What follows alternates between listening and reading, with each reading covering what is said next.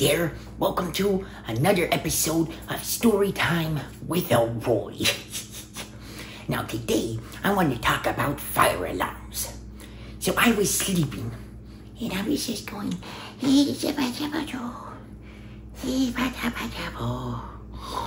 and then I heard. And I was like. It was like three in the morning. And at first I thought, oh, someone's breaking in. So I grabbed a baseball bat and I ran around in my room, back and forth. I was in my boxers, mind me, so it was kind of drafty. And I was running back and forth, trying to figure out what was going on. And I was like, the front door. And I opened my door and I charged it. But you know what? No one was there. And that is when I realized it was a fire alarm. And I was like, fire, fire, someone get some water, someone get some sand, someone get a roll, stop, drop, and roll, stop, drop, and roll. And then I was like, wait a second, you don't stop, drop, and roll unless you're on fire, and I'm not on fire yet. And if I don't want to get on fire, I should probably start running. And so then I put some pants on and I ran outside. Now you see, I live in an apartment, and they do these things called fire alarm tests. They want to make sure that all the fire alarms work. Now, I don't know why they needed to do it at 3 in the morning. I don't think that makes a lot of sense. And I think it's kind of rude. But anyways, they did it. And so I'm standing outside in my short sleeves and my short pants. And I'm just standing there freezing like, I wonder how long I'm gonna be out here. and then I thought about that nice warm jacket upstairs.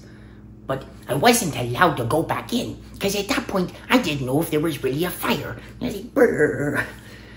Ah, it was a long night. Thankfully, after a while, they stopped doing the test, and I got to go back and go to bed. But I did learn a lot. If there's a fire alarm, you need to act quickly. You need to get outside because if there's a fire, you don't want to be in there. Now, there are a couple things to note when it comes to fire safety. If there's a fire and you see smoke or something coming under the door, the way that you can check and see if the room on the other side is on fire is you can touch the door handle. Now, don't grab it, but just touch it very lightly. If it's really hot, it means the fire is on the other side. So, you don't want to open it in that case, unless it's the only thing you can do. Always remember there are even windows and stuff like that. I like windows.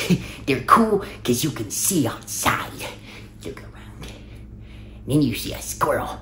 And you're like, there's a squirrel. And the squirrel's like, hey, it's Elroy. Starts throwing nuts at you. And like, ah, ah. Those silly squirrels. I'll get them. But anyways, I'll see you all in the next episode of Story Time with Elroy. Don't forget to like and subscribe. See ya.